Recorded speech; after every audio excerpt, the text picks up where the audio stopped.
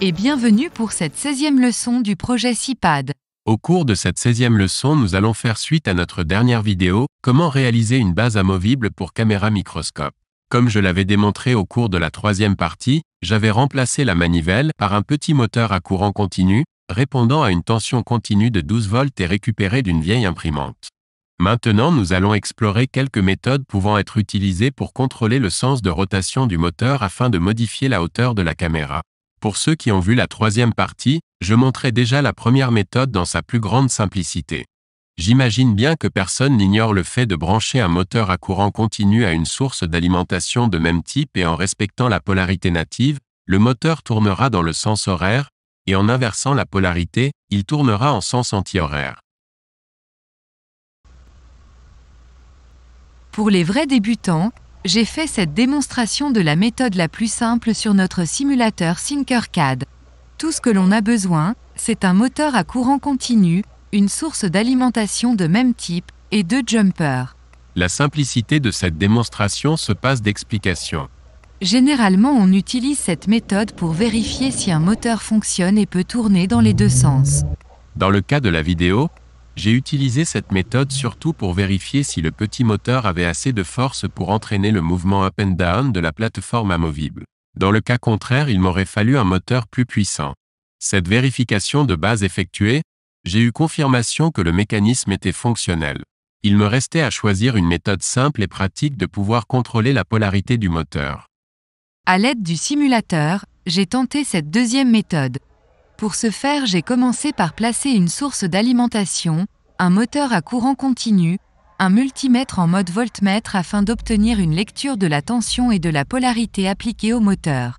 Et malheureusement, étant donné que le choix des interrupteurs est archi nul et limité dans Thinkercad, n'ayant pas accès à un interrupteur à deux pôles de position, je me suis contenté de deux interrupteurs, à un pôle de position à glissière, pour les besoins de la démonstration. Comme on le voit ici, c'est la combinaison de la position des deux interrupteurs qui détermine la rotation du moteur.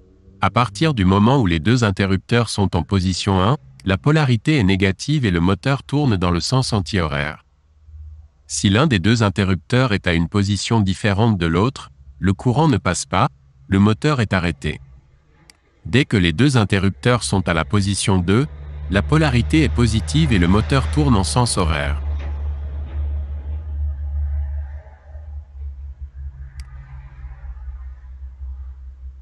Ceci dit, il existe des commutateurs fabriqués expressément pour cet usage.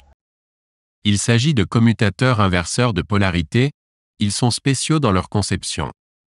Ils sont comparables à des interrupteurs à deux pôles et deux positions mais à la différence près, qu'ils ont trois positions. Deux positions, marche, et une position arrêt. Ce sont des interrupteurs à bascule momentanée. Leur branchement est extrêmement simple comme ce schéma le montre bien. Il s'agit là de la méthode la plus simple pour commander la polarité d'un moteur à courant continu. Schématiquement parlant, et dans un but pédagogique, j'ai dessiné les trois étapes qui illustrent clairement comment fonctionne ce type de commutateur dans ces trois positions. Tout d'abord, comme il s'agit d'un commutateur à bascule momentanée, cela signifie qu'il est à ressort, et que sa position par défaut est la position 0. Pour activer ce type de commutateur, il suffit de pousser le levier soit à la position 1 ou à la position 2. Sa particularité fait en sorte que dès qu'on relâche le levier, il revient automatiquement à la position 0. Comme le montre cette partie du schéma surligné, à la position 0, les quatre interrupteurs intégrés au commutateur sont dans l'état bloqué. Aucun courant ne peut passer. Le moteur n'est pas alimenté puisque le commutateur est en mode arrêt. Lorsque je place le commutateur en position 1, on a deux des quatre interrupteurs intégrés qui passent en mode passant. Cela permet une connexion entre la source d'alimentation et le moteur.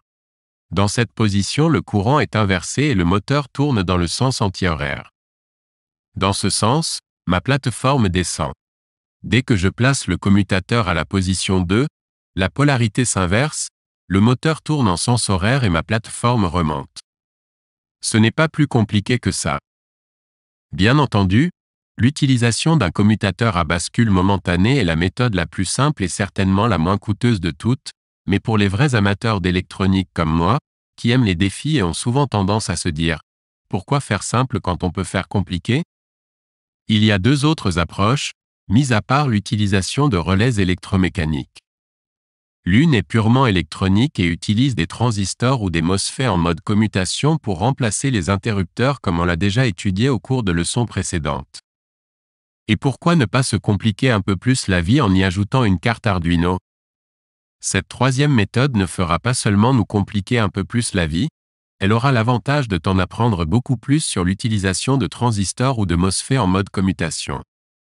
Je parle d'une approche très riche en apprentissage pour les vrais amateurs d'électronique, et même d'électronique programmable. Pour te donner un avant-goût de la prochaine leçon et t'aiguiser l'appétit, je me contenterai de te montrer ce schéma qui t'illustre la méthode communément appelée pont en H ou H bridge. C'est le sujet que nous allons étudier plus en détail lors de la prochaine leçon. En espérant que cette vidéo a été assez intéressante pour te donner le goût de revenir pour la prochaine présentation.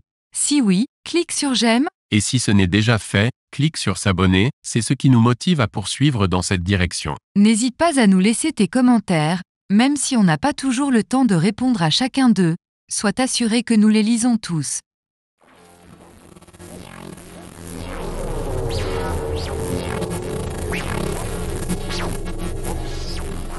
Easy Weekend Project.